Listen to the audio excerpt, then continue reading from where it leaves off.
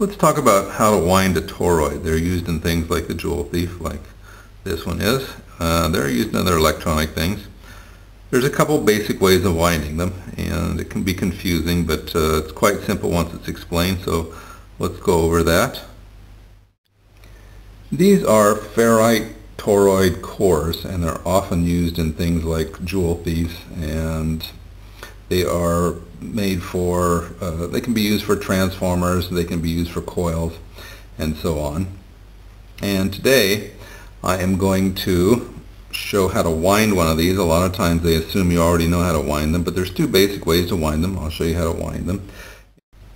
So to make things clear, I'll use this large wooden ring. This will be our toroid. And we'll start out with our two colors of wire in this case pink and brown, and I'm going to twist the ends together, which I've stapled them together so you can see that. And the first way is to run both wires in the same direction, either counterclockwise or clockwise. And when I talk about counterclockwise and clockwise, I'm always talking about looking one direction. If you first look left and then look right, there it changes. So you always have to pick one direction and look and consider both sets of windings when you do that. So I always look to the left. So let's start out. We take both of our wires, they're tied together, and we loop them like this around. And both wires are running the same direction. If you look, they're running this direction, and that of course is clockwise.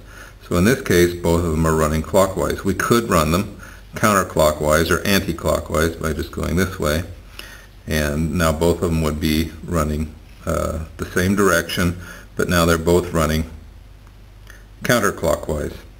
Does it make a difference? No, not usually.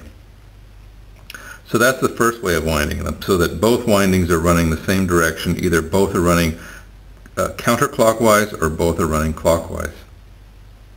If your application calls for windings going in opposite directions so that one set of windings is going counterclockwise and the other is going clockwise, it's easiest again, once again, to start with your two uh, wires twisted together on the ends and loop one through the center and one on the outside like I have here. And then what we'll do is we'll just start winding one. Just keep it going in the same direction it was, like this and wind the, the number of turns you need, whatever that will be, like this. So if we look at this one, we'll see that this one is turning this direction. Again, we always want to look the same, the same direction. We're looking left. So it's going this direction, which is clockwise. And then we'll do the other one. And we're just going the natural direction it wants to go like this.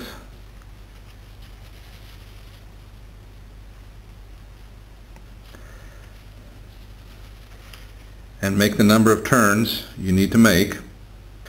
And this one is going this direction, which is counterclockwise or anti-clockwise.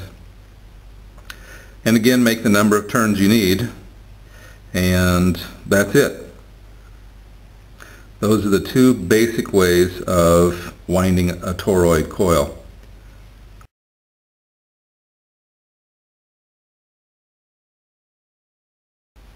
I've made two pretty much identical Joule thieves, same number of windings on primary and secondary. Uh, this one they're both uh, going in parallel and this one they're going counter to each other in opposite directions and so we can see which uh, technique works the best. Well, here they both are. They're connected to the same battery, pointing at the table. And to me, it appears the top one is a little bit brighter. It doesn't matter when I change the angle a little bit, but the top one typically comes out ahead. And so which one is that? Well, to answer your question, that is the one where the coils uh, wrapped in the same direction. Both wires are wrapped in the same direction, and this is the one where they're wrapped opposite. So one's going counterclockwise, the other's going clockwise. So same direction, opposite directions. And so that kind of answers that question. It looks like uh, when they're wrapped in the same direction, it uh, works a little better. Well, I hope that's informative in your Joule thief experiments.